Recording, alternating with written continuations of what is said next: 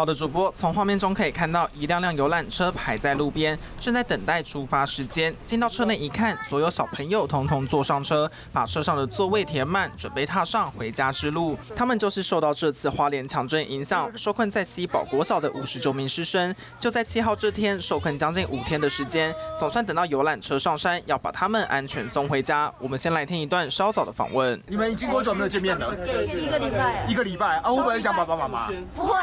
不会啊，不会想爸爸。因为昨天昨天阿妈才去学校。到了学校看到小朋友，我们真的觉得很放心。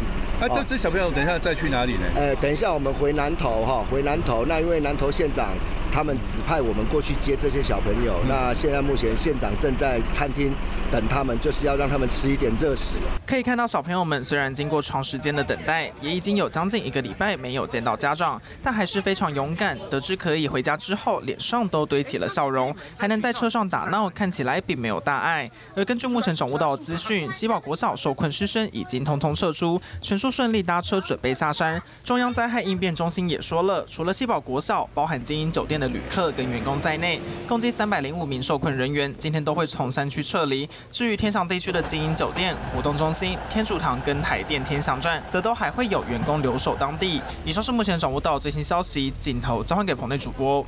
Hello，我是林明瑞。想要抢先掌握最及时的新闻资讯吗？赶快订阅、按赞、开启小铃铛，锁定我们华视新闻的 YouTube 频道。